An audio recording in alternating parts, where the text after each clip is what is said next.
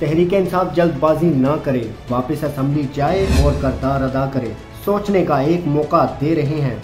Chief justice of Pakistan ने PTI को मशवरा दे दिया। चीफ जस्टिस सुप्रीम कोर्ट ने कौमी असम्बली के इस्तीफे एक साथ मंजूर करने की दरख्वास्त पर समाप्त की।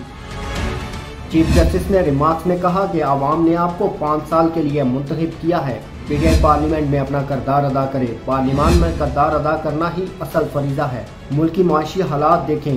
पीटीआई को अंदाज़ा है एक सौ तेईस नशस्तों पर जमनी इंतबात के क्या अखराज होंगे।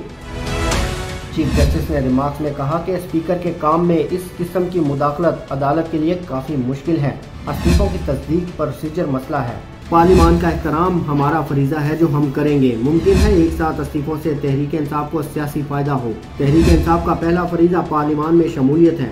डिप्टी स्पीकर कासिम सूरी के इस्तीफों के ऑर्डर पर हम से फैसला न ले। मुमकिन है नए आने वाले स्पीकर तस्दीक करके अपनी तसली चाहते हों। तहरीक इंसाफ पर ज़िम्मेदारी है कि चीज़ों को जल्दी में ना करें। चीफ जस्टिस ने कहा, रियासत के मामला में वजादारी और बर्दाश्त से चलना पड़ता है। जल्दबाजी ना करें।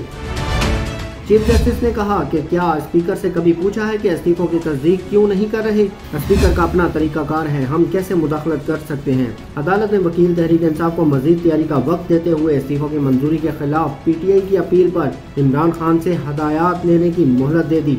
समात गैर मुइना मुद्दत के लिए मुलतवी कर दी गई।